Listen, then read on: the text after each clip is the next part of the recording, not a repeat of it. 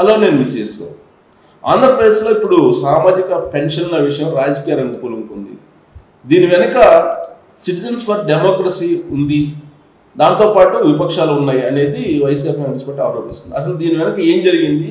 రాష్ట్ర ఆర్థిక పరిస్థితి కారణమా? లేదంటే అసలు సామాజిక పెన్షన్లు ఇవ్వకపోవడానికి సిటిజన్స్ ఫర్ డెమోక్రసీ కారణం అనే దాని మీద విశ్లేషణ తీసుకునే ప్రయత్నం చేద్దాం. సో సిటిజన్స్ ఫర్ డెమోక్రసీ ఉపాధ్యక్షులు అలాగే మాజీ chief secretary AP LV Subrahmanyam garu మనతో ఉన్నారు. సార్ నమస్తే సార్. నమస్కారం రావు గారు నమస్కారం. నమస్తే సార్ మీ ఆధ్వర్యంలో ప్రమాణ స్వీకారం ఐదు సంవత్సరాలకు దాదాపు నాలుగున్నర సంవత్సరాల క్రితం చేశారు జగన్మోహన్ రెడ్డి. సో అయిపోయింది ఇప్పుడు పీరియడ్ అయిపోయింది ఆయనకి ఆల్మోస్ట్. ఇప్పుడు సామాజిక పెన్షన్లు ఇవ్వకపోవడానికి కారణం మీరే అంటున్నారు. అంటే వీళ్ళందరికీ ఏంటంటే నేను మొన్ననే ఏదో సభలో మాట్లాడుతూ చెప్పాను. మన చిన్నప్పుడు క్రికెట్ మ్యాచ్లు చూస్తున్నప్పుడు ఎవరున్నా కూడా పర్వాలేదు రూల్స్ పాటిస్తారని మనం అనుకునేవాడు.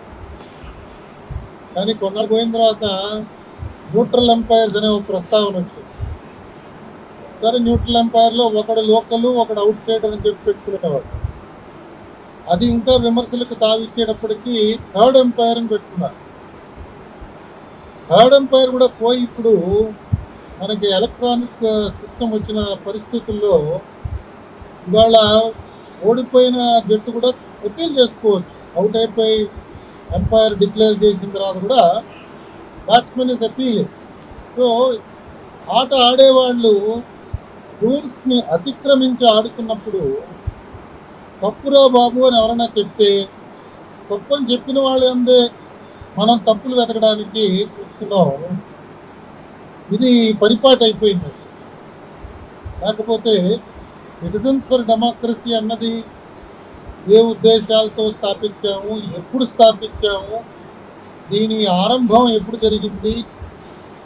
ఈ వాలంటీర్స్ మీద అభియోగాలు మేము మోపిన తేదీలు ఏమిటి ఇవన్నీ వివరాలు చూస్తే మేము ఎవరి ఆధీనంలో కూడా లేవు ఎవరి ఆలోచనల్ని అమలు చేయడానికి లేవు ఎవరి దగ్గర నుంచి కూడా సభాషం చెప్పుకోవడానికి మేము రాలేదు. ఇది అందరికీ తెలిసిన విషయం.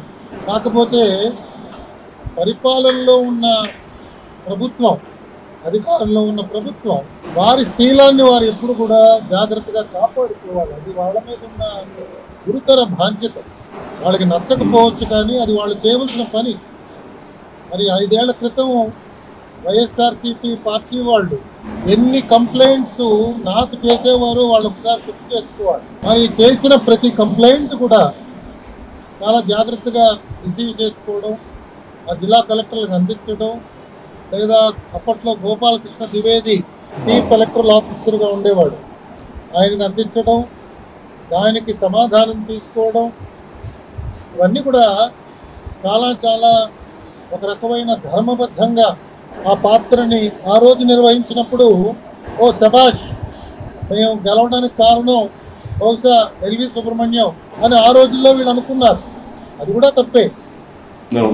రూల్స్ వ్యతిరేకంగా పోకుండా అందరికీ సమానమైన అవకాశం వచ్చేటట్టుగా ప్రజాస్వామ్యాన్ని గౌరవించే విధంగా ఎన్నికల ప్రక్రియ సజావుగా సాగడం ఆ రాష్ట్రం యొక్క ప్రధాన కార్యదర్శి యొక్క ప్రధాన కర్తవ్యం. అలాగే ముఖ్య ఎన్నికల అధికారి వీరిద్దరి యొక్క ప్రత్యక్షమైన ఒక బాధ్యత ఆ విధంగా ఎన్నికలు నిర్వహించడం అండి. ఇలాంటి అనుమానాలు వచ్చినప్పుడు ఇది ఎవరి మీద ప్రతిబింబిస్తుందంటే అక్కడున్న ప్రధాన కార్యదర్శి మీద అలాగే ఎన్నికల నిర్వహణాధికారి మీద ఇద్దరి మీద కూడా ఇది తప్పకుండా ప్రతిబింబిస్తుంది కాబట్టి. ఎన్నికలు సారీ ఎన్నికలు సజావుగా జరపాలి అది మన. బాధ్యత ఆ బాధ్యతని ఒకటి అర ఎవరైనా సమాజంలో అసంతృప్తితో వాళ్ళు వేయి వేయి వేలు చూపిస్తే మనం దాన్ని స్వీకరించగలిగే ఒక ఔదార్యాన్ని దాటుకున్నప్పుడు బహుశా అందరూ కూడా ఆ ప్రభుత్వాన్ని మెచ్చుకుంటారు సో ఇప్పుడు మీరు చెప్పినటువంటి మీరు చెప్పినటువంటి వాతావరణం ఆంధ్రప్రదేశ్లో ఇప్పుడు కనిపిస్తూ ఉందా? అదేనండి అంటే ఇప్పుడు మనకి ఎన్నికలు సజావుగా జరగాలి. ఎవరు కూడా అభ్యర్థులు ఎవరికి కూడా ఇబ్బందులు కలగకూడదు. అలాగే ఓటర్స్ని ఎవరు కూడా ప్రభావితం చేయకూడదు.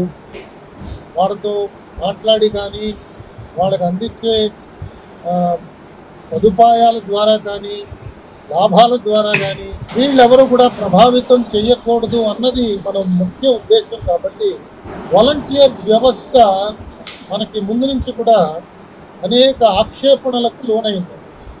అది అందరికీ తెలిసిన విషయమే.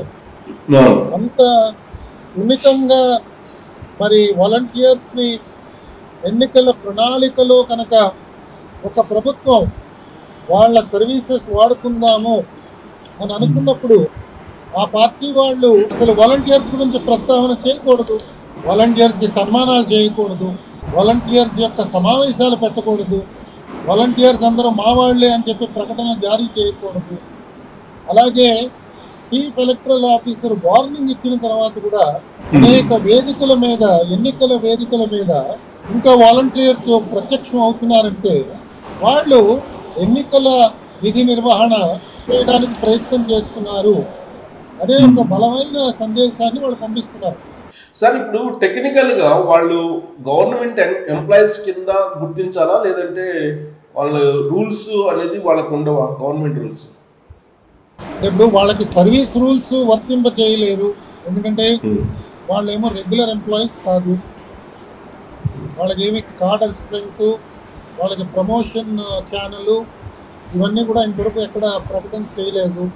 ముందు అసలు వాళ్ళ రిక్రూట్మెంటే లోపభూయిష్టంగా జరిగింది అని అనేక పర్యాయాలు దాని మీద చర్చలు జరిగినట్టుగా కూడా నాకు జ్ఞాపకం. కాబట్టి వాళ్ళు వచ్చిన విధానం అయితే అది మర్యాదపూర్వకంగా లేదు గౌరవప్రదంగా లేదు. అంటే వాళ్ళు కేవలం ఒక పార్టీ యొక్క విధి విధానాలు అమలు చేయడానికి మాత్రమే వచ్చినట్టుగా ఇది అందరికీ కనిపిస్తున్నది. కానీ ఇప్పుడు సార్. ఒకటి సార్ ఇప్పుడు? సస్పెండ్ చేస్తున్నారు కదా ఆల్రెడీ రీసెంట్ ఇవాళ కూడా పదకొండు మందిని సస్పెండ్ చేసినట్టున్నారు. మరి సర్వీస్ రూల్స్లో నిబంధనలు వాళ్ళకి వర్తించినప్పుడు ఈ సస్పెన్షన్ ఇవన్నీ అసలు టోటల్ వ్యవస్థనే రద్దు చేయాలి కదా.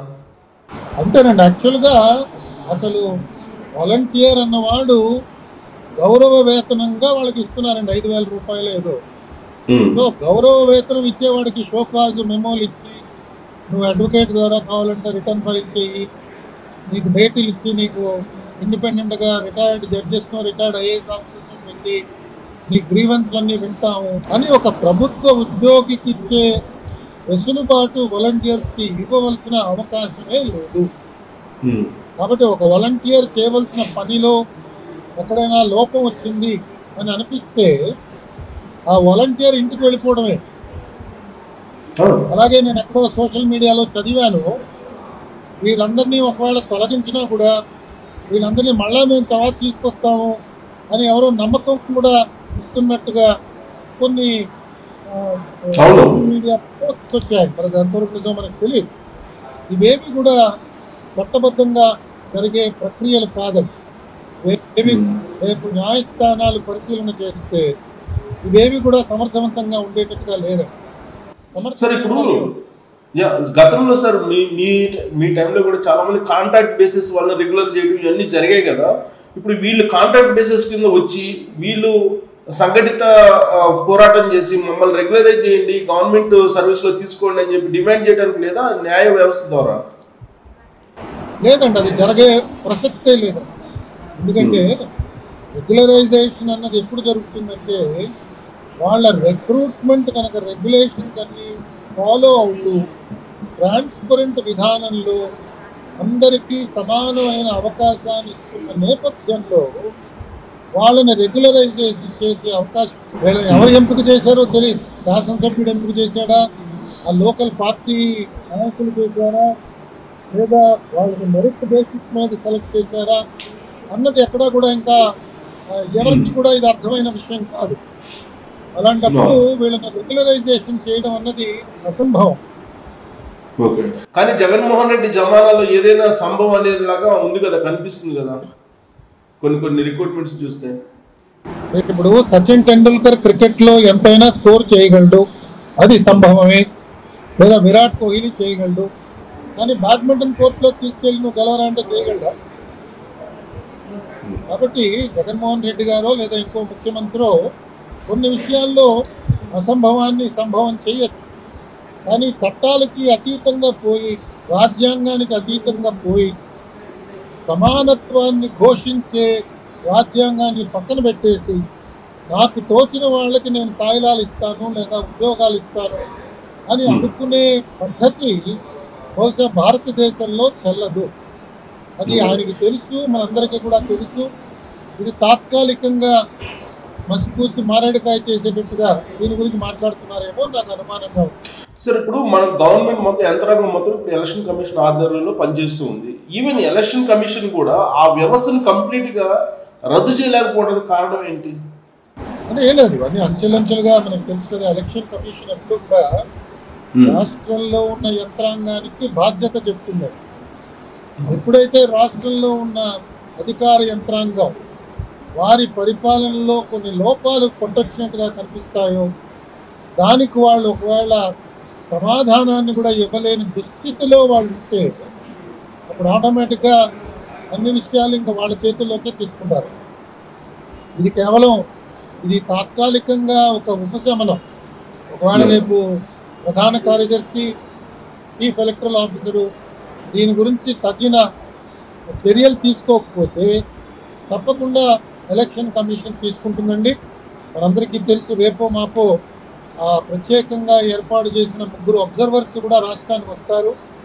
వచ్చినప్పుడు తప్పకుండా ఈ కంటెస్ట్ చేస్తున్న క్యాండిడేట్స్ కానీ పొలిటికల్ పార్టీస్ కానీ పత్రికా విలేకరులు కానీ లేదా సిటిజన్స్ ఫర్ డెమోక్రసీ కానీ మాలాంటి సంస్థలు కానీ మేమందరం కూడా వెళ్ళి వాళ్ళకి ఫిర్యాదు చేసే అవకాశం తప్పకుండా ఉన్నది. అప్పుడు వాళ్ళు దీని మీద చర్యలు తీసుకునే అవకాశం తప్పకుండా ఉంటుంది. సార్ ఇప్పుడు వాలంటీర్ వ్యవస్థ ద్వారా మొత్తం వ్యక్తిగతమైనటువంటి సమాచారం మొత్తం కూడా వాళ్ళ దగ్గర ఉండిపోయింది. వాళ్ళ దగ్గర వాళ్ళ మొబైల్స్లో ఉండిపోయింది. సరే వాళ్ళ మొబైల్స్ అయితే హ్యాండ్ ఓవర్ చేసుకోమని చెప్పింది ఎలక్షన్ కమిషన్. కానీ దాన్ని ఆ డేటాని ట్రాన్స్ఫర్ చేసుకోవడం అనేది చాలా ఈజీ కదా. ఈవెన్ ఐప్యాక్ తోటి వాళ్ళు అనుసంధానం అయి ఉన్నారు అనేది అందరికి తెలిసినటువంటి అంశమే. మరి ఆ డేటాని ఎలా కనుక్కుంటారు ఎలక్షన్ కమిషన్? ఏమండి మనం ఎప్పుడూ కూడా జ్ఞాపకం పెట్టుకోవాలి. చట్టానికి మేము చాలా అతీతం అని భావించిన కొంతమంది ముఖ్యమంత్రులు కూడా ఇవాళ న్యాయస్థానాలు అక్కడ ఉపేక్షించట్లేదు. ఎందుకంటే అందరి ప్రవర్తన కూడా చాలా చాలా లోతుగా అందరూ పరిశీలన చేస్తున్నారు. ఇది మనం గమనించాలి. ప్రజాస్వామ్యానికి ఇవ్వవలసిన గౌరవం ఒక పక్క ఇస్తూ కూడా అందరి ప్రవర్తన కూడా ఆమోదయోగ్యంగా ఉండాలి. సో రేపు వీళ్ళు అతి తెలివితేటలకు పోయి ఈ డేటా ఎవరికో ట్రాన్స్ఫర్ చేసి ఆ ట్రాన్స్ఫర్ చేసిన మొబైల్ ఫోన్స్ ద్వారా ఎన్నికల ప్రక్రియని సజావుగా సాగనీయకుండా వీళ్ళు ఒకవేళ ఏమైనా ఇన్ఫ్లుయెన్స్ చేయడానికి ప్రయత్నం చేసి ఒకవేళ దొరికిపోతే ఇవన్నీ కూడా క్రిమినల్ ఒఫెన్సెస్. మరి ఈ పిల్లలందరూ కూడా చాలా చాలా భవిష్యత్తు ఉన్న యువకులు. ఈ యువతి యువకులందరినీ కూడా నేను ప్రత్యేకంగా మీ ద్వారా కూడా వాళ్ళకి చెప్తున్నాను. దయచేసి చట్టానికి అతీతంగా ఎవరూ ప్రవర్తించవలసిన అవసరం లేదు. మీకు వచ్చే ఈ ఆదాయము ఈ అనుభవము మీరు కష్టపడితే అనేక మార్గాల ద్వారా కూడా సంపాదించచ్చు. చట్ట విరుద్ధంగా సంపాదిద్దాం అనుకున్న వాళ్ళందరికీ కూడా ఏదో ఒక రోజు చెరసాలలోకి వెళ్ళి అక్కడ ఇనుప కడ్డీలు లెక్క పెట్టే పరిస్థితి వస్తుంది. అది ఒక రోజులో రావచ్చు రెండు రోజుల్లో రావచ్చు. కొంతమందికి పది సంవత్సరాల తర్వాత రావచ్చు కానీ చట్టం ఎప్పుడూ కూడా తన పని తను జాగ్రత్తగా చేసుకుంటూ పోతుంది. అమలు చేసే వారిలో లోపాలుంటే దాన్ని సరిచేయడానికి అనేక న్యాయస్థానాలు ఇవాళ చాలా చాలా జాగ్రత్తగా వ్యవహరిస్తున్నాయి కాబట్టి ప్రజాస్వామ్యంలో ఉన్న వారు అందరం కూడా చాలా జాగ్రత్తగా మన విధి నిర్వహణ చేయాలి. కాబట్టి ఈ ఈ వాలంటీర్స్ అందరినీ కూడా నేను పదే పదే కోరేది మీకు ఒక జీవితంలో ఒక అవకాశం ఒక అనుభవం లభించింది. మీరు చేయదగిన సేవ మీరు చేశారు. అంతటితో దానికి మీరు నిష్క్రమణ పలికి తర్వాత జీవితంలో ఎలాంటి అవకాశాలు వస్తాయో చూడండి కాదు దీన్ని ఏదో విధంగా ఈ వ్యవస్థని కూల్చి ప్రజాస్వామ్యాన్ని అపహాస్యం చేసి ఒక పార్టీకే వత్తాసు పలికేటట్టుగా మీరు ప్రవర్తిస్తే మీ చర్యలు తప్పకుండా ఎన్నికల కమిషన్ గర్హిస్తుంది. మిమ్మల్ని చూడటానికి అనేక వేల మంది మీ చుట్టూగా చూస్తున్నారు. ఎవరి నుంచి ఎప్పుడు ఏ ఫిర్యాదు వెళ్ళినా కూడా తప్పకుండా మీరు ఆ ఆ చర్యలకి బాధ్యులవుతారు. మిమ్మల్ని ఎవరు కూడా ఉపేక్షించరు. దయచేసి చెప్తున్నారు. సార్ ఇప్పుడు వాళ్ళ ప్లేస్లో ఇప్పుడు పెన్షన్లు వాళ్ళని తీసేసినందువల్ల ఎలక్షన్ కమిషన్ తీసుకున్న నిర్ణయం వల్ల ఒకటో తారీఖు మేము పెన్షన్లు ఇవ్వలేకపోతున్నాము అని చెప్తున్నారు. సరే ఆల్టర్నేటివ్గా ఇప్పుడు సచివాలయానికి సంబంధించి వార్డు గ్రామ వాలంటీర్లు ఉపయోగించుకో గ్రామ ఉద్యోగులు ఉపయోగించుకోవచ్చు. బట్ వాళ్ళు కూడా ఇటీవల కాలంలో supreme court high court high court ఇచ్చిన డెసిషన్ మేరకు అసలు వాళ్ళు కూడా కొంతమంది చల్లదు వాళ్ళ అపాయింట్మెంట్ అంటున్నారు. వాళ్ళేమో పార్టీ పరంగా వాళ్ళు కూడా చాలామంది ఉన్నారంటున్నారు. ఉన్నారు అంటున్నారు ప్లస్ ఇప్పుడు సచివాలయంలో చంద్రశేఖర్ రెడ్డి మీకు తెలుసు ఉద్యోగుల సంఘం నేత. ఆయనే మానిటర్ చేస్తున్నారు గ్రామ వా- సచివాలయాలకు సంబంధించి ఉద్యోగులు అంటున్నారు వాళ్ళ ద్వారా న్యాయం జరుగుతుందా? పెన్షన్లకి. అంటే ఇప్పుడు గ్రామ సచివాలయాల్లో ఉన్న సిబ్బంది రిక్రూట్మెంట్ విధానం డిఫరెంట్గా జరిగిందండి. దానికి జిల్లా కలెక్టర్ నేతృత్వంలో రిక్రూట్మెంట్ జరిగింది. డిస్ట్రిక్ట్ సెలక్షన్ కమిటీ చేసిన విధానంలో వాళ్ళు చేసినట్టుగా నాకు జ్ఞాపకం. అవును. వాళ్ళకి మీరు ఇందాక చెప్పిన ఆ వ్యక్తికి నేరం డైరెక్ట్గా ఎక్కడ కూడా సంబంధం లేదు.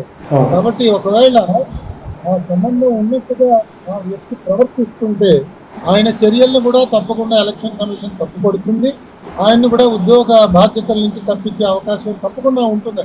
ఎవరు కూడా ఇందులో ఇన్వాల్వ్ అవడానికి లేదు. గ్రామ సచివాలయాల సిబ్బంది కూడా చాలా జాగ్రత్తగా పెన్షన్ లిస్ట్ అన్ని జాగ్రత్తగా దగ్గర పెట్టుకోవాలి. పెన్షన్ డిస్ట్రిబ్యూట్ చేస్తున్నట్టుగా కూడా ఎక్కడ ఫోటోలు కానీ అవి కూడా తీయడానికి లేదు అని కూడా వాళ్ళకి నిబంధనలో వాళ్ళు పొందుపరిచారు. కాబట్టి చీఫ్ ఎగ్జిక్యూటివ్ ఆఫీసర్ సర్ఫ్ ఎవరైతే ఆదేశాలు ఇచ్చారో వారు చాలా చాలా స్పష్టంగా ఆదేశాలన్నీ ఇచ్చారు. కాబట్టి ఈ ఆదేశాలకి లోబడి ఈ గ్రామ సచివాలయాలు వార్డు సచివాలయాల సిబ్బంది ఈ పెన్షన్లన్నీ జాగ్రత్తగా డిస్ట్రిబ్యూట్ చేయాలి. సరే మీ అందరికీ తెలుసు అలాంటి వాళ్ళ పెన్షన్లు కూడా అనేక నెలలు రెండు మూడు తేదీలు దాటిన తర్వాత కూడా మాకు అందేయండి ఒకటో తారీఖు నాడు బహు కొద్ది మాసాల్లో నాకు అందిందండి. కాబట్టి అందరం కూడా ఎంత త్వరగా అందించాలో అంత త్వరగా ఆ బాధ్యతతో మనం చేయాలి. కానీ అనివార్య కారణాల వల్ల ఒకటి రెండు రోజులు ఆలస్యం అయితే మనకేమీ కూడా పైనుంచి ఏదో భూకంపం వచ్చేసిందనే భయంతో ఉండవలసిన అవసరం లేదు. దీన్ని చాలా జాగ్రత్తగా సచివాలయ సిబ్బంది అప్రమత్తంతో ఈ పంపిణీ విధానాన్ని పాటించాల్సిందిగా నేను మీ ద్వారా కోరుతున్నాను. సరే ఆర్థిక శాఖ క్రమశిక్షణ లేకపోవడం కారణంగానే పెన్షన్లు లేట్ అయ్యాయని చెప్పి ఒకటి వినిపిస్తుంది సార్. ఈ మంత్లో ఎస్పెషల్లీ ఈ మంత్లో ఆల్మోస్ట్ పదిహేడు వేల కోట్ల రూపాయలు ఆదాయం వచ్చింది ప్లస్ ఏడు వేల కోట్లు ఏమో ఏపీఎండిసి నుంచి వాళ్ళు బాండ్స్ రూపంలో తీసుకొచ్చినట్టున్నారు. అయినా కానీ ఇప్పుడు ఖజానా ఖాళీ అంటున్నారు. ఏంటి సార్ అది? ఖజానా ఎంతవరకు ఖాళీ ఖాళీగా ఉంది? ఎంత నిండుగా ఉన్నది లేదా ఎంత నిండు కుండగా ఉన్నది? ఇవన్నీ కూడా ఈ సమయంలో మనం ప్రస్తావన చేయడం భావ్యం కాదు. ఒకవేళ డబ్బు లేకపోవడం వల్ల పింఛన్లు కనుక డిస్ట్రిబ్యూట్ చేయకపోతే అసలు కారణం ఏమిటో అందరికీ తెలిసిపోతుంది. ఇవన్నీ కూడా చి- చిన్నప్పుడు చెప్తుండేవారు. ఏదో ఒక జాతి వారి రహస్యాలని చెప్తూ ఉండేవారు. కాబట్టి అందరికీ వినిపించే రహస్యాలే. ఇలాంటి జర్నలిస్ట్ అందరూ కూడా దీన్ని బయటకు లాగడం పెద్ద సమయం పట్టదు. కాబట్టి ప్రభుత్వంలో ఉన్న వాళ్ళందరూ కూడా అప్రమత్తంగా వ్యవహరించాలి. వాళ్ళ దగ్గర ఉన్న ఆ వనరులు జాగ్రత్తగా ప్రభుత్వం మీద ఆధారపడే వర్గాల వారందరికీ కూడా సకాలంలో అందించగలిగితే వారు చేయవలసిన బాధ్యతని వారు నిర్వర్తించినట్టుగా మనం భావిద్దాం. అంటే రీసెంట్గా జస్ట్ సార్ మా రెండు మూడు రోజుల నుంచి మనకు వస్తున్న ఇన్ఫర్మేషన్ ఏంటంటే మాకు వస్తున్న ఇన్ఫర్మేషన్ అక్కడ అమౌంట్ రాగానే ఖజానాలోకి వాళ్ళకి కావాల్సినటువంటి కాంట్రాక్టర్స్కి క్లియర్ చేయడం ముందస్తు చెల్లింపులే అసలు వర్క్ కాకుండానే చెల్లింపులు చేయడం ఇవన్నీ కూడా ఆర్థిక అవకతవకలు ఇది ఎలక్షన్ కమిషన్ చూసుకోవాల్సిన బాధ్యత లేదా? అంటే ఒకటి రావు గారు నేను మీకు చాలా చాలా సవినయంగా చెప్తున్నాను.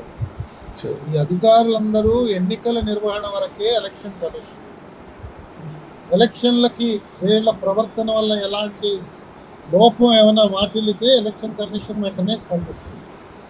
కానీ ఎన్నికల తర్వాత ప్రభుత్వం వస్తుంది. ఎన్నికలు తర్వాత ఎన్నికల తర్వాత కూడా న్యాయస్థానాలు ఉన్నాయి.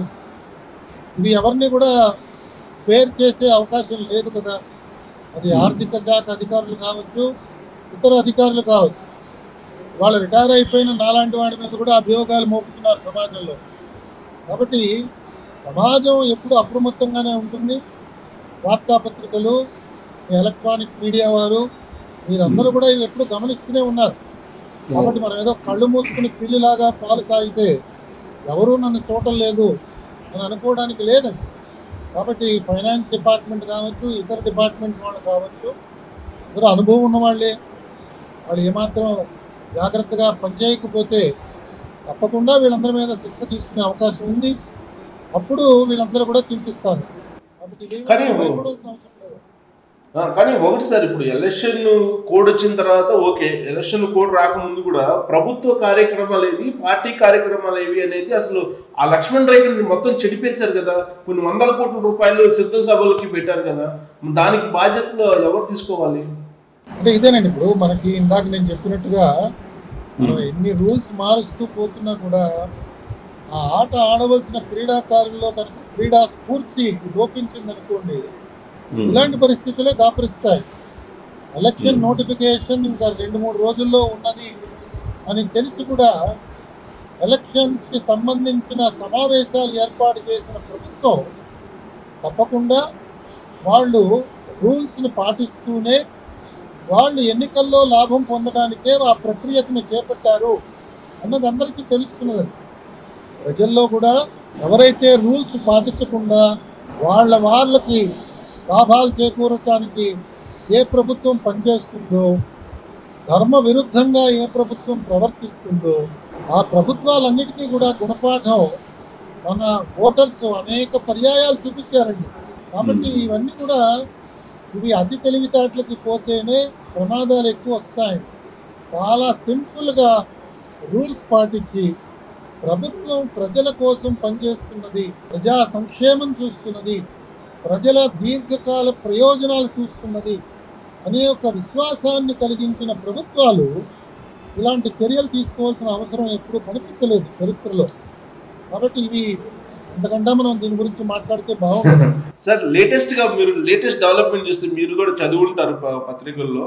మాకు వస్తున్న ఇన్ఫర్మేషన్ కూడా ఇప్పుడు రీసర్వే చేశారండి. ల్యాండ్స్ రీసర్వే uh, చేశారు. దాంట్లో పాస్బుక్ ఇష్యూ చేసేటప్పుడు ఖచ్చితంగా జగన్మోహన్ రెడ్డి ఫోటో ఉండాల్సిందేను నవరత్నాల ఫోటో ఉండాల్సిందేను అని చెప్పి ఒక ఐఏఎస్ ఆఫీసరే అందరికి చెప్పారు. జాయింట్ కలెక్టర్ కూడా చెప్పారని చెప్పి అఫీషియల్గానే తెలుస్తుంది. బట్ ఆన్ పేపర్ లేకపోవచ్చు. కానీ ఇవాళ కూడా ఆ బొమ్మతోటి ఇష్యూ చేస్తూ ఉన్నారు మరి. దానికి ఎలా? పాస్బుక్స్ ఇవాళ కూడా ఇప్పుడు కూడా రిలీజ్ చేస్తున్నారు ఆయన బొమ్మతోటి. అదేనండి అది. ఇప్పుడు మనకు తెలుసు కదా ఇవాళ మనం చూస్తున్నాం అనేక రాజకీయ నాయకుల యొక్క విగ్రహాలు ఉన్నాయి ఈ విగ్రహాలన్నీ ఎప్పుడు పెట్టారంటే ఎప్పుడో పెట్టారు. మరి ఎలక్షన్స్ వచ్చిన తర్వాత ఆ విగ్రహాలకు ఎందుకంటే గుట్ట చుడుతున్నాం మనందరం కూడా? ఏమిటి అవసరం ఏముంది? మనకు తెలిసిన ఆ విగ్రహం ఎన్టీ రామారావు గారిది లేదా రాజశేఖర రెడ్డి గారిది లేదా ఇంకెవరో జలగం వెంగళరావు గారిది. సో ఈ విగ్రహాన్ని ఎలాగైతే మనం ఇవాళ గుడ్డ చుట్టి మొహం కప్పేశామో అలాగే కొత్తగా ఎవరి మొహాలు కూడా ఎన్నికల్లో ఉన్న వాళ్ళ మొహాలు ప్రభుత్వ విధాన నిర్ణయాల్లో అవి రావడానికి వీలు లేదు అసలు ఇవాళ పాస్బుక్లు డెలివరీ చేయాలి అనే ఒక ఆదేశాన్ని కూడా రేపు కోర్టు తప్పుపట్టే అవకాశం ఉందండి. ఎందుకంటే ఇది ఎమర్జెన్సీ కాదు. మీకు హాస్పిటల్కి వెళితే వైద్యం చేయాలి. అది ఎమర్జెన్సీ కింద వస్తుంది. భోజన అవసరం కోసం ఫుడ్ సప్లైస్ కంటిన్యూ చేయాలి. Civil supplies. అది ఎమర్జెన్సీ కింద వస్తుంది. మంచినీళ్ళు తాకుండా ప్రజలు ఉండలేరు కాబట్టి మంచినీళ్ళు విడుదల చేయాలి. అది ఎమర్జెన్సీ కింద వస్తుంది. అంతేకాని నేను రోడ్డు వేస్తాను భవనాలు కడతాను పంట కాగితాలు ఇస్తాను లేదా వీళ్ళందరినీ కూర్చోబెట్టి పెళ్ళిళ్ళు చేస్తాను వాళ్ళందరికీ బట్టలు పెడతాను ఇలాంటి ఆలోచనలు చేస్తే తప్పకుండా ప్రభుత్వాన్ని ఎన్నికల కమిషను తర్వాత న్యాయస్థానాలు తప్పుపడతాయి ఏవి ఎమర్జెన్సీ కాదు కదా. వాళ్ళ ప్రథమ కర్తవ్యం అందరిది కూడా ఎన్నికలు సజావుగా నిర్వహించడం. ఓన్లీ వన్ అది అది వన్ డ్యూటీ చే వన్ డ్యూటీ చేయాలి మీలాంటి సీనియర్స్ ఐఏఎస్ చెప్తున్నారు. కానీ అక్కడ జరుగుతుంది వేరే సార్ ఇప్పుడు లేటెస్ట్గా తీసుకుంటే కనుక విద్యాశాఖలో విద్యాశాఖ సంబంధించి ఇప్పటి వరకు గవర్నమెంట్ పథకాలు వీటిని ప్రచారం చేయడానికి ఆల్మోస్ట్ విద్యాశాఖ సంబంధించిన కీలకమైనటువంటి ఒక అధికారి ఆల్రెడీ ఉద్యోగులకి ఆదేశాలు జారీ చేశారు. వాళ్ళేమో స్కూల్కి కాలేజీలకు వెళ్ళి ప్రచారం చేయడానికి సిద్ధమవుతున్నారు అంటున్నారు. ఇలాంటి వాటిని ఎలా అడ్డుకోవాలి సార్? అదేనండి. ఇప్పుడు కొన్నిసార్లు మనం ఏంటంటే శిక్ష పడిన తర్వాత కూడా మన తెలివితేటలు కోల్పోతున్నామంటే ఆ వ్యక్తికి చాలా చాలా ఒక పెద్ద డోస్ యాంటీబయాటిక్స్ పడాలన్నమాట నువ్వు మీరు. చెప్తున్న ఆ వ్యక్తి నా మనసులో ఉన్న వ్యక్తికి ఇప్పటికే శిక్ష పడింది. అనేక విధాలుగా నువ్వు కేంద్ర ప్రభుత్వానికి డెప్యుటేషన్లో రావడానికి అర్హుడు కాదు అనే ఒక ముద్ర వేసి తిరిగి పంపించారు. కాబట్టి ఇప్పటికే ఒక శిక్షకి లోనైన వ్యక్తి ఇంకా జాగ్రత్తగా అప్రమత్తంగా ఉండాలి. అంతేగాని నేను ఒక తప్పు చేశాను కాబట్టి ఇంకో రెండు తప్పులు చేస్తాను అంటే ఆ శిక్ష పెరిగే ప్రమాదం కూడా ఉన్నది. అలా చేయకూడదు ఎందుకంటే వీళ్ళందరూ కూడా చాలా చాలా చక్కని తెలివితేటలు ప్రదర్శించి యూనియన్ పబ్లిక్ సర్వీస్ కమిషన్ ఎగ్జామినేషన్లో పాస్ అయ్యి వచ్చిన వాళ్ళు. కాబట్టి ఇలాంటి వాళ్ళందరికీ కూడా తాత్కాలిక ప్రయోజనాల గురించి ఆలోచన ఎందుకు? ఎన్నికలు అయ్యేంత వరకు కొంచెం ఓపిక పట్టి ఎన్నికలు అయిన తర్వాత ఎవరు వస్తే ప్రభుత్వంలోకి వాళ్ళు ఇచ్చిన ఆదేశాలని చిత్తశుద్ధితో అమలు చేస్తే వాళ్ళకే మంచిది కదా. వాళ్ళ మీద చర్యలు తీసుకోవడానికి పెద్ద సమయం పట్టదండి. కానీ ఆ తీసుకున్న చర్యల్లోంచి బయటపడాలంటే అనేక సంవత్సరాలు వాళ్ళు రోధించవలసిన ప్రమాదం ఉన్నది. కాబట్టి జాగ్రత్తగా వ్యవహరించవలసిందిగా నేను వాళ్ళందరినీ కూడా మీ ద్వారా వాళ్ళకి హితబోధ చేస్తున్నాను. ఈ మాత్రం ఇది. చేయవలసిన అవసరం లేదు.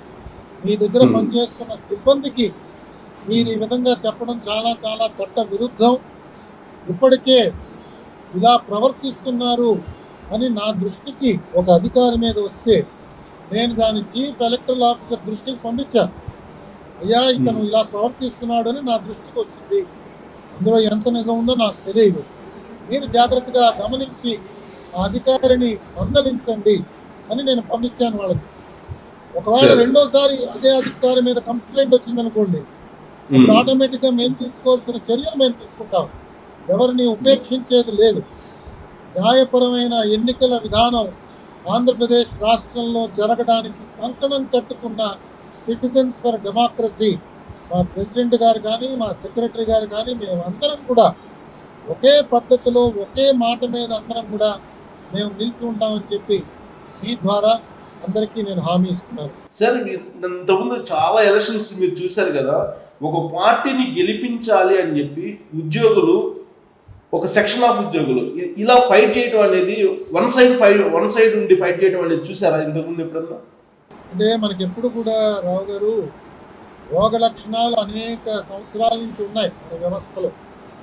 కొన్నిసార్లు వాళ్ళ చుట్టూతో ఉన్న వాతావరణం ఆహ్లాదకరంగా ఆరోగ్యకరంగా లేనప్పుడు ఈ వ్యాధి లక్షణాలు ఇంకొంచెం ఎక్కువ పెరుగుతాయి. మన దగ్గర ఉన్న వైరస్లు కూడా మన చుట్టూతో చాలా వైరస్లు ఉంటాయి. ఎప్పుడైతే మనలో బలహీనత పెరుగుతుందో ఈ వర వైర వైరస్ మన మీద తన ప్రాబల్యాన్ని పెంచుతుంది. కాబట్టి ఈ విధమైన ప్రవర్తన చాలా రోజుల నుంచి ఉందండి. కొద్దిమంది చూపించేవారు. ఆ కొద్దిమంది ఎప్పుడు కూడా బయటపడేవారు. వారిని వెంటనే శిక్షారులుగా చేసేవాళ్ళు. వాళ్ళని ఎన్నికల విధి నిర్వహణ నుంచి తప్పించేవారు. మనకి కొంతమంది జిల్లా కలెక్టర్లు చేసిన వాళ్ళని ఆ విధంగా ఎలక్షన్ కమిషన్ కూడా అవును మీరు ఇందాక ప్రస్తావన చేసిన అధికారికి ఆ విధమైన శిక్ష కూడా పడింది. ఎలక్షన్స్లో ఎప్పుడు. కూడా భవిష్యత్తులో ఇతన్ని ఇన్వాల్వ్ చేయడానికి లేదు అని చెప్పి న్యాయస్థానం లాగా ఎలక్షన్ కమిషన్ ఒక తీర్పు ఇచ్చింది. కాబట్టి ఇది ఈ లక్షణాలు కొంతమందిలో ఎప్పుడు ఉంటాయి? అత్యుత్సాహానికి పోయి వాడు చేయవలసిన విధి నిర్వహణ చేయరు. యాక్చువల్లీ ఇలాంటి వాళ్ళు వాళ్ళ ప్రవర్తన వల్ల అధికార పార్టీకే నష్టం వస్తుందండి ఎప్పుడు కూడా. అది. జాగ్రత్తగా గమనించాలి. వాళ్ళకేమీ దీనివల్ల లాభం రాదండి. ప్రజలు కూడా దీన్ని ఆమోదించరండి. నిష్పక్షపాతంగా వ్యవహరించవలసిన అధికారి ఒక పార్టీకి వత్తాసు పలికినప్పుడు ప్రజలు దాన్ని ఆమోదించరండి. ప్రజలు చాలా. జాగ్రత్తగా గమనిస్తారు. ఇది కొంచెం. రాజకీయ పార్టీలు కూడా తెలుసు. వ్యవహరిస్తే మంచిది.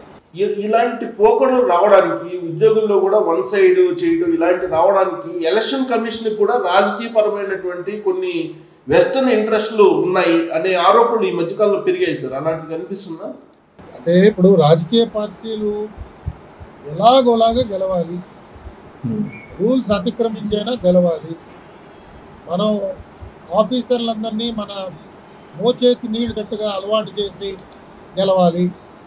లేదా ఓటర్స్ అందరినీ భ్రమ చేసి గెలవాలి లేదా పైనుంచి ఎలక్షన్ కమిషన్ వాళ్ళనే నిందించి అయినా గెలవాలి. ఇలా గెలిపే ఒక రకమైన వాళ్ళ మార్గం ద్వారా ఈ ప్రవర్తన చూపిస్తున్న రాజకీయ పార్టీలు వీళ్ళు ప్రజాస్వామ్యాన్ని ఒక గొడ్డల పెట్టుగా మారుతున్నారు. ఇది చాలా దురదృష్టకరమైన విషయం. ఈ రాజకీయ పార్టీలు అందరూ కూడా ఈ ఎలక్షన్ కమిషన్ ఇచ్చిన సహాయ సహకారాలతోనే గెలిచారండి. వీళ్ళెవరూ కూడా కేవలం వాళ్ళ స్వయం ప్రతిపత్తితో గెలిచిన వాళ్ళు కాదు. వీళ్ళు అపోజిషన్లో ఉన్నప్పుడు చేసిన ఫిర్యాదుల్ని జాగ్రత్తగా పరిశీలన చేసిన ఎలక్షన్ కమిషన్ యొక్క పనితీరు వల్ల వీళ్ళకి ఇవాళ అవకాశం కలిగింది. వాళ్ళ రూలింగ్ పార్టీ లాగా కూర్చుకునే అవకాశం. కాబట్టి వాళ్ళ గతాన్ని వాళ్ళు మర్చిపోతే తప్పు కదా. ఏమాత్రం. భావ్యం కాదు. సమాజంలో ఉన్న యువతకి మీరందరూ ఎలాంటి సందేశం పంపిస్తున్నారు? ఇది దయచేసి గమనించవలసిందిగా నేను రాజకీయ పార్టీలన్నింటినీ కూడా ఒకసారి మీ ద్వారా విజ్ఞప్తి చేస్తున్నాను. సార్ సుప్రీంకోర్టు కానీ ఏదో ఎలక్షన్ కమిషన్ కానీ చాలా క్లియర్గా చెప్పింది. ప్రాంతాలు కులాలు మతాలు వీటిని ప్రొవోక్ చేసి ఆ ప్రొవోకేషన్ నుంచి మీరు ఓట్లు రాబట్టుకోవడం అనేది చట్టవిరుద్ధం అని చెప్పింది. కానీ ఇప్పుడు జరుగుతున్నటువంటి ప్రచారం చూస్తే రాబోయేది క్లాస్ వార్ అని చెప్పి జగన్మోహన్ రెడ్డి చెప్తున్నారు. దాని మీద మీరు సిటిజన్ ఫర్ డెమోక్రసీ అనేది మీరు ఏమైనా ఎలక్షన్ కమిషన్ దృష్టికి తీసుకెళ్ళి కంప్లైంట్ చేసే ఆలోచన ఉందా? ఇంతవరకు లేదండి. దాంట్లో ఆయన ఎవరిని దాంట్లో టార్గెట్ చేస్తున్నారు? ఎవరి పేర్లు ఏం మెన్షన్ చేయట్లేదు? ఏదో అదొక కొత్త రకమైన నినాదాన్ని ఆయన మాట్లాడుతున్నారు. ఆ నినా నినాదాన్ని మనం వెంటనే చూసి స్పందించవలసిన అవసరం మాకు ఇంతవరకు కనిపించలేదు.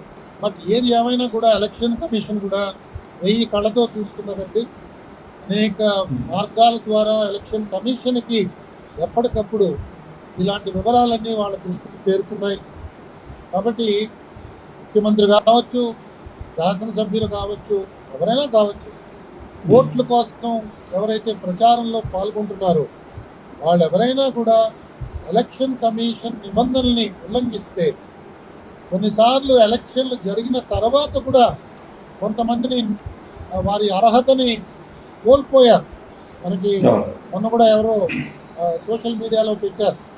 కాబట్టి ఇవన్నీ కొంచెం అప్రమత్తంగా అభ్యర్థులందరూ ఉండవలసిందిగా నేను మీ ద్వారా కోరుతున్నాను. సార్ ఇంకోటి ముఖ్యమంత్రి జగన్మోహన్ రెడ్డి వాడుతున్నటువంటి బస్సు చూశారు మీరు. రెండు బస్సులు. ఆ రెండు బస్సులు సుమారుగా వంద కోట్ల రూపాయలు ఉంటాయని చెప్పి ఒక అంచనా. దాంతోపాటు రెండు హెలికాప్టర్లు కూడా బుక్ చేశారు. అఫీషియల్ జీవోలు కూడా వచ్చాయి. ఇది ఎలక్షన్ ధిక్కారం కింద రాదా? ఎలక్షన్ కోడ్ ఆఫ్ కండక్ట్ కిందకి రాదా? లేదు కదండి. అంటే ఇవన్నీ కూడా ఆయనకు కావాల్సిన భద్రత ఆయనకు. కావాల్సిన సౌకర్యం. కానీ దానికి ఖర్చు పెట్టిన మొత్తం అంతా కూడా ఎక్స్పెండిచర్లోకి వచ్చేస్తుంది. ఆ ఎక్స్పెండిచర్ కింద బుక్ అవుతుంది ఎందుకంటే ఆయన ముఖ్యమంత్రి ముఖ్యమంత్రి యొక్క భద్రత కూడా రాష్ట్ర ప్రభుత్వానికి చాలా ఘానమైనది కాబట్టి ఆయనకి ఎగ్జంప్షన్ ఆ ఖర్చు నుంచి లేదు. ఆ ఖర్చు. వివరాలు నమోదు చేసుకున్నప్పుడు ఈ ఖర్చు వివరాలన్నీ కూడా తప్పకుండా వాళ్ళు నమోదు చేయాలి. ఆ ఖర్చు వివరాలు కనుక ఆ పార్టీకి ఆ వ్యక్తికి ఒకవేళ అది అతిక్రమించుంటే దాని మీద తీసుకోవాల్సిన చర్యలు ఎలక్షన్ కమిషన్ తీసుకుంటుంది. సో ఇప్పుడు వాలంటీర్లు డైరెక్ట్గా చాలా మంది వైఎస్ఆర్ కాంగ్రెస్ పార్టీ తరఫు నుంచి ప్రచారం చేయిస్తారు. ఈ సస్పెండ్ అయిన వాళ్ళు కానీ లేదంటే వీళ్ళు ఆల్రెడీ మొబైల్స్ సరెండర్ చేయమన్నారు. సరెండర్ చేసిన తర్వాత వాళ్ళు ఇండివిజువల్గా పార్టీకి పనిచేయమని చెప్పి జగన్మోహన్ రెడ్డి చెప్తున్నారు కదా. మీరు ఈసారి నన్ను గెలిపించాల్సింది మీరే అని చెప్పి చెప్తున్నారు. ఆ పిలుపు మేరకు చాలా మంది ప్రచారం చేస్తున్నారు కదా ఇప్పుడు కూడా. ఎప్పుడైతే వాలంటీర్స్ వైఎస్ఆర్సీపీ కండుగా కప్పుకొని మేమంతా వైఎస్ఆర్సీపీ పార్టీ తరపు నుంచి మీ- అందరి దగ్గరికి అభ్యర్థిస్తున్నాం ఓట్ల కోసం చెప్పారు అప్పుడు అసలు నిజం బయటపడుతుంది ప్రజలు. ఎంతవరకు వీళ్ళని వ్యక్తులుగా అభిమానిస్తున్నారు? ఎంతవరకు వీళ్ళందరూ పార్టీ ప్రతినిధులుగా వాళ్ళని అభిమానిస్తున్నారు నేను అనుకోవడం ఆ విధంగా వాళ్ళు ఎవరికి చేయరండి ఆ విధంగా చేస్తే వాళ్ళ పార్టీకే నష్టం. Sir, final. సార్ ఫైనల్గా ఈ ఎలక్షన్లో citizens for democracy next step ఏంటి సార్ ఈ ఫార్టీ ఫైవ్ డేస్లో ఏం చేయబోతుంది? మేము ఇవాళ మధ్యాహ్నం దీని గురించి ఒక సమావేశం ఏర్పాటు చేసుకున్నామండి. మధ్యాహ్నం నాలుగున్నర గంటలకి సమావేశం పెట్టుకున్నాం. అందరి సభ్యుల ఆలోచనలు కూడా స్వీకరించి ఎందుకంటే ప్రతి ఒక్క నిర్ణయం కూడా పిఎఫ్డి సిటిజన్స్ ఫర్ డెమోక్రసీ యొక్క నిర్ణయాలన్నీ కూడా మేము సంయుక్తంగానే తీసుకున్నాం. అన్నీ కూడా సమావేశాల్లో ప్రవేశపెట్టి సభ్యుల యొక్క ఆలోచనలన్నీ స్వీకరించి ఏది ఆచరణ యోగ్యంగా అనిపిస్తున్నదో దాన్ని మేము అమలు చేస్తూ వచ్చాం. కాబట్టి అదే విధంగా ఈ క్యాంపెయినింగ్ జరుగుతున్న సమయంలో ఏ విధమైన పాత్ర నిర్వహించవచ్చు? ఏ విధంగా మోడల్ కోడ్ ఆఫ్ కాండక్ట్ అమలు మీద మనం మేము దృష్టి పెట్టాలి? ఏ విధంగా ఈ ఫిర్యాదులు పంపించాలి? ఎలాగ ఓటర్స్కి సహాయ సహకారాలు అందించవచ్చు ఇలాంటి అంశాలన్నీ కూడా మధ్యాహ్నం బహుశా ప్రస్తావన వస్తాయండి. దాని తర్వాత అందరికీ ఆమోదయోగ్యమైన ఒక ప్రణాళిక తయారు చేసుకుని నేను ఎంత రిటైర్ అయిన వాళ్ళం. ఇవన్నీ కూడా మా చేతి ఖర్చే డబ్బంతా కూడా. కాబట్టి ఆ పెన్షన్ డబ్బుల్లో ఎంత డబ్బు దీని గురించి వినియోగించగలను? దాన్ని జాగ్రత్తగా నేను ప్రణాళిక చేసుకోవాలి. ఆ విధంగా ఒక్కొక్కళ్ళం కూడా బాధ్యత తీసుకుని మేము చేయదగిన సహాయాన్ని చేయడానికి మేము సిద్ధమవుతాం రైట్ అండి thank you very much sir retire అయిన తర్వాత కూడా సామాజిక బాధ్యత మీరు ఇప్పుడు ఎలక్షన్లు చాలా కీలకంగా భావించి అవేర్నెస్ కల్పిస్తున్నారు మీరు. Thank you very much thank you Rao garu నమస్కారం నమస్కారం థ్యాంక్ యూ